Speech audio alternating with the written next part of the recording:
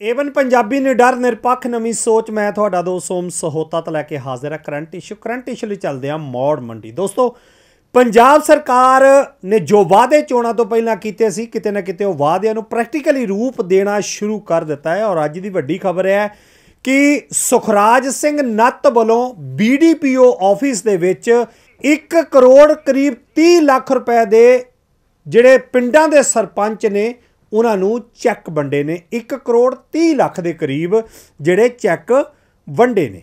ਲੇਕਿਨ ਕਿੰਨੇ ਪਿੰਡਾਂ ਨੂੰ ਵੰਡੇ ਨੇ ਔਰ ਕਿਸ ਕਿਸ ਚੀਜ਼ ਵਾਸਤੇ ਵੰਡੇ ਨੇ, ਪੂਰੀ ਜਾਣਕਾਰੀ ਦੇਣ ਵਾਸਤੇ ਮੌੜ ਮੰਡੀ ਤੋਂ ਮੇਰੇ ਨਾਲ ਜੁੜ ਚੁੱਕੇ ਨੇ ਹਰਮਿੰਦਰ ਸਿੰਘ ਜੀ। ਹਰਮਿੰਦਰ ਜੀ, ਕੀ ਅਪਡੇਟ ਹੈ ਇਸ ਖਬਰ ਨੂੰ ਲੈ ਕੇ?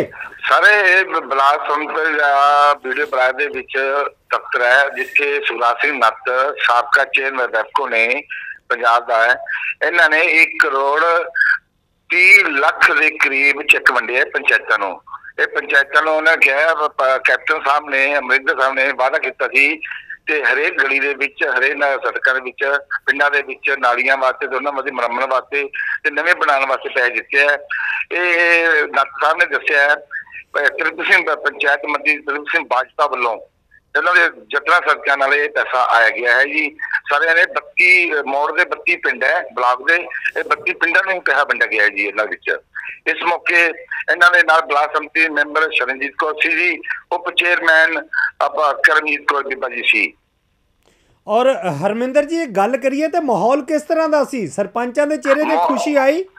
ਮਾ- ਮਾਹੌਲ ਬਹੁਤ ਖੁਸ਼ੀ ਦਾ ਸੀ ਜੀ ਸਾਰਾ ਦੇਖਣ ਵਾਲਾ ਸੀ ਜੀ ਬਹੁਤ ਜ਼ਿਆਦਾ ਖੁਸ਼ੀ ਦਾ ਮਾਹੌਲ ਸੀ ਜੀ। ਉਹਨਾਂ ਨੂੰ ਚੈੱਕ ਮੰਡੇ ਜੀ ਉਹਨਾਂ ਨੂੰ ਬਹੁਤ ਖੁਸ਼ੀ ਦਾ ਇਸ ਟਾਈਮ ਸਮੇਂ ਬਹੁਤ ਮਾਹੌਲ ਸੀ ਜੀ। ਉਹਨਾਂ ਨੂੰ ਦੀ ਗ੍ਰਾਂਟ ਮਿਲੀ ਜੀ ਪੈਸਾ ਬਹੁਤ ਵਧੀਆ ਆਇਆ ਇਹਨਾਂ ਨੂੰ। 1 ਕਰੋੜ 35 30 ਲੱਖ ਦੇ ਕਰੋੜ 30 ਲੱਖ ਦੇ ਕਰੀਬ ਤੋਂ ਵੱਧ ਦਾ ਜੀ ਪੈਸਾ ਇੰਨਾ ਪੈਸਾ ਆਇਆ ਜੀ।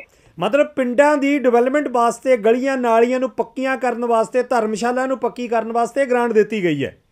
ਹਾਂਜੀ ਹਾਂਜੀ ਸਰ ਹਾਂਜੀ ਸਰ ਹਾਂ ਸਮਝੀ ਹਾਂਜੀ ਹਾਂਜੀ ਜੀ। ਬਹੁਤ ਬਹੁਤ ਮਿਹਰਬਾਨੀ ਹਰਮਿੰਦਰ ਜੀ। ਇਸ ਸੰਬੰਧ ਵਿੱਚ ਗੱਲਬਾਤ ਕੀਤੀ ਸੁਖਰਾਜ ਜੀ ਦੇ ਨਾਲ?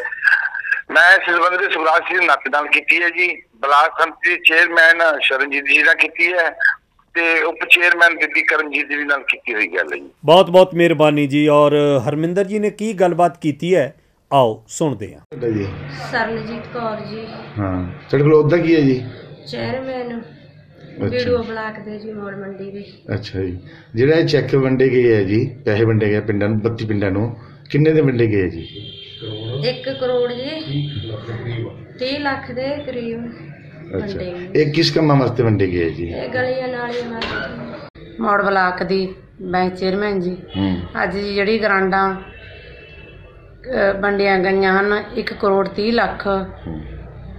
ਕੈਪਟਨ ਅਮਰਿੰਦਰ ਸਿੰਘ ਵੱਲੋਂ ਭੇਜੀਆਂ ਗਈਆਂ ਹਨ ਤੇ ਨੱਥ ਸਿੰਘ ਵੱਲੋਂ ਵੰਡੇ ਗਏ ਹਨ ਚੱਕ।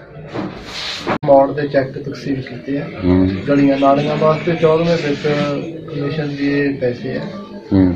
ਤੇ ਅਸੀਂ ਮੋੜ ਬਲਾਕ ਨੂੰ ਕਰੋੜ 30 ਲੱਖ ਰੁਪਇਆ ਦੇਣ ਵਾਸਤੇ ਸਾਡੇ ਮਾਨਯੋਗ ਕੈਬਨਿਟ ਮੰਤਰੀ ਤ੍ਰਿਪਤ ਬਾਜਵਾ ਸਾਹਿਬ ਤੇ ਮਾਨਯੋਗ ਮੁੱਖ ਮੰਤਰੀ ਕੈਪਟਨ ਅਮਰਿੰਦਰ ਸਿੰਘ ਜੀ ਦਾ ਅਸੀਂ ਧੰਨਵਾਦ ਕਰਦੇ ਹਾਂ ਜਿਨ੍ਹਾਂ ਨੇ ਸਾਡੇ ਬਲਾਕ ਦੀ ਡਿਵੈਲਪਮੈਂਟ ਵਾਸਤੇ ਪੈਸੇ ਭੇਜੇ